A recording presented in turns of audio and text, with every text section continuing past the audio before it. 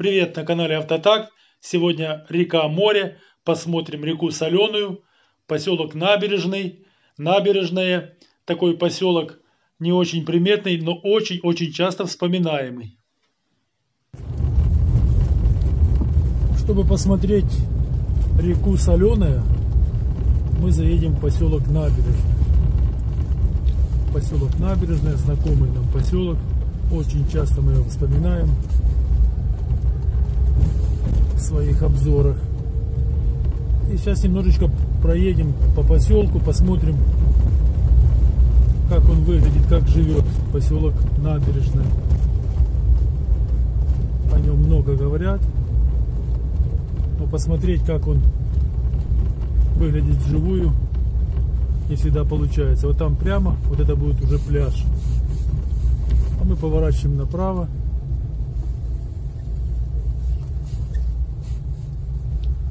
Место отдыха, курортное место считается. Рыбалка здесь, пеленгаз, ловят новый быт рядышком. Ну вот сказать, что поселок такой богатый, с коттеджами, ну, нельзя так сказать. Хотя вот строятся там, видите, дальше посмотрим, строятся такие коттеджи, есть базы отдыха.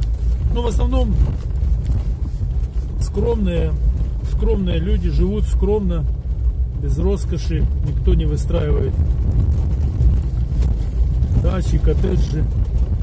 Хотя буквально находится в черте города, не так далеко от Приморска. Но Приморск сам на берегу моря, поэтому сказать так, что нужно ехать сюда, сделать здесь дачу, нет необходимости. Люди не проезжают сдалека, не обосновываются здесь, очень редко. Сейчас мы посмотрим, там есть такой немножко домик. А так в основном очень скромно, скромный образ жизни. Повторюсь о том, что рыбалка, казалось бы, должно быть изобилие, но нет. Ну вот люди, я думаю, что выстраивают такие себе на будущее коттеджи, потому что море оно никуда не денется. А там, где более комфортно, там плотная застройка, дорогие квадратные метры. Ну а здесь пока что еще вот так вот. Места очень много. Территория большая, огромная территория. И до моря буквально рядышком. Совершенно недалеко до моря.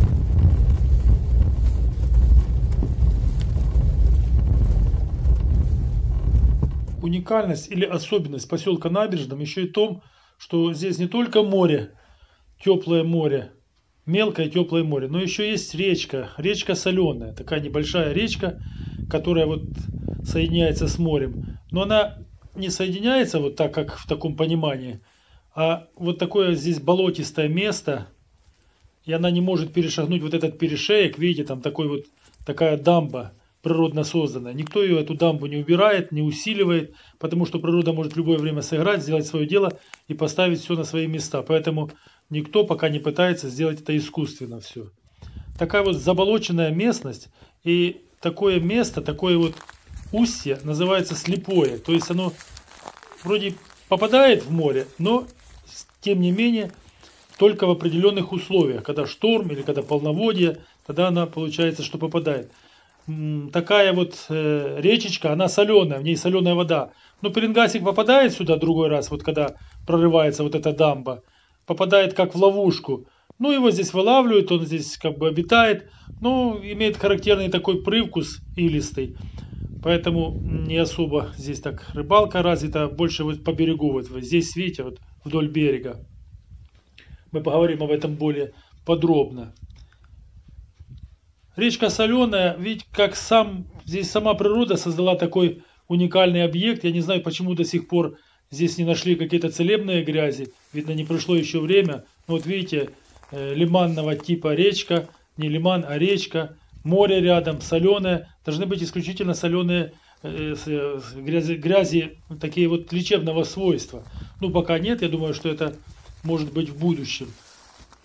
Такого не нашло применения грязелечения именно в этом месте. И вот так вот она подходит к морю. И вот эту, вот эту косичку пляжа не всегда может перепрыгнуть, пересечь. Но бывают времена, когда это все дело происходит.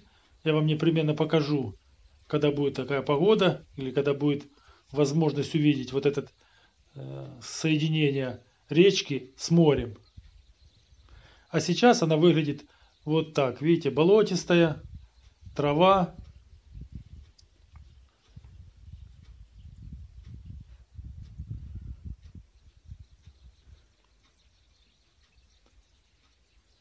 Мы сейчас пойдем посмотрим с вами сам берег, берег как выглядит. Опускаемся на полоску пляжа и смотрим, в чем же уникальность такого обычного, казалось бы, места. Сочетание реки, моря, базы отдыха, рыбалка, такая вот дикая рыбалка. В чем же секрет? Посмотрим, пройдем с вами по бережочке, посмотрим своими глазами, как оно обстоит дело.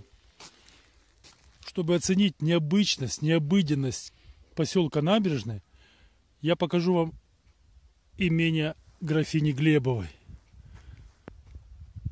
Мы снимали о ней сюжетик об этом имении.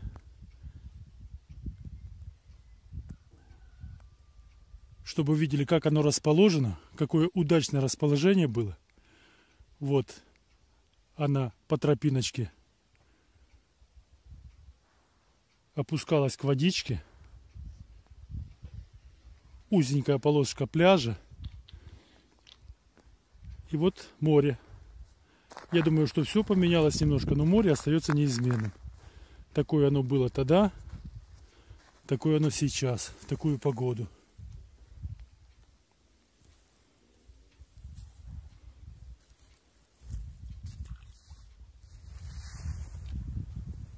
Растительность, черепашки, ракушки.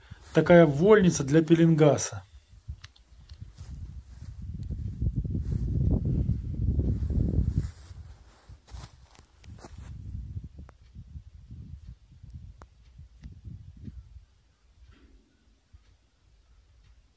Огромное изобилие растительности, которую приносит там немножко с глубины, дает возможность пеленгасу здесь жировать чувствовать себя очень-очень комфортно. Притом море здесь не глубокое, прогревается хорошо. И пеленгасик любит здесь покушать.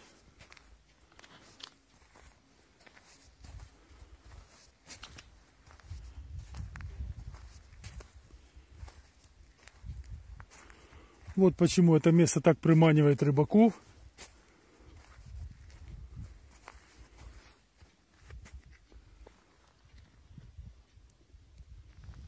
Вот мы идем вдоль бережка и смотрим.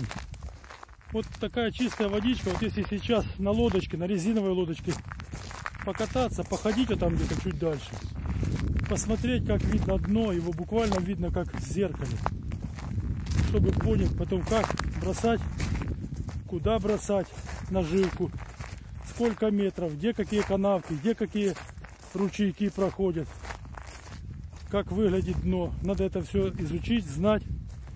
Ну, я думаю, что многие это делают, потому что почему одни успешнее ловят, другие не так успешно ловят. Хотя сказать так, что местные ловят намного больше, чем приезжающие, не скажу. Может быть, из-за того, что приезжающий человек, а более снасть такая качественно хорошая. Ну, все зависит в основном от наживки и от времени клева, когда он клюет, на каком расстоянии. Но знать берег нужно. Знать все тонкости. Все тонкости знать невозможно, но вот так я говорю вам, что не каждый рыбак рассказывает это все. Да, где-то там ловлю на берегу. А на каком берегу? Да там, где вот на пляже. Конкретно никто не говорит, потому что это такие, может быть, секреты, а может быть, чтобы не глазили. Рыбаки народ суеверный, понимаете? Ну что, хорошо сейчас, видите, хорошо сейчас вот посмотреть все. Потому что летом здесь много людей, очень много людей, поэтому снимать не так просто. Подойдешь, снимаешь, дама замечательная, прекрасная во всех отношениях, говорит, ой-ой-ой, не снимайте мне, я в домашнем. Ну, что делать, приходится уважать.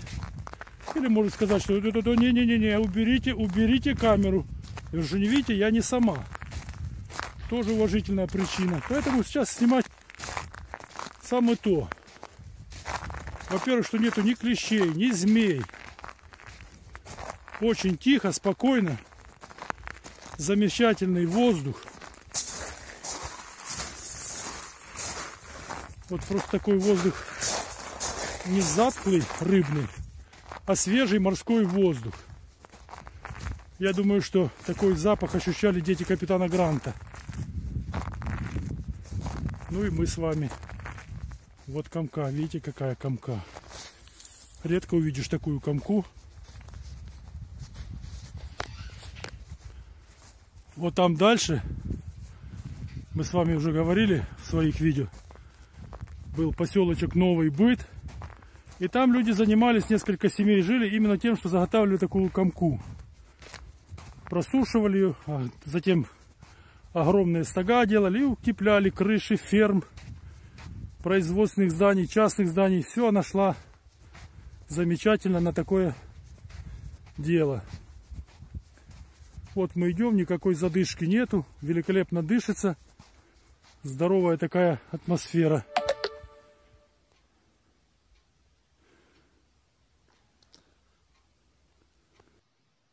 Тихо, спокойно. Ну и без рыбаков пока. Рыбаков, ну и таких отдыхающих курортников. Стихийных, плановых, неплановых. Кто постоянно здесь. В основном постоянные такие. Ну бывает, что и присоединяется кто-то другой. Кому-то понравится, остается надолго. Кому-то нет, уезжает, ищет другое место, более комфортное, с цивилизацией.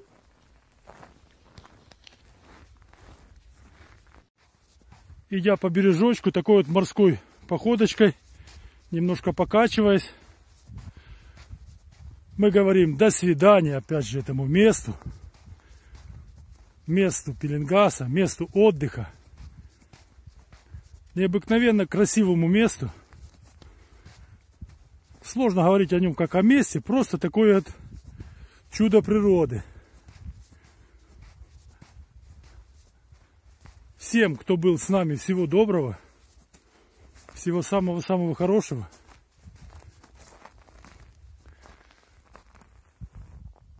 Огромного здоровья вам. Чистого-чистого воздуха. До свидания. Канал Авто Такт.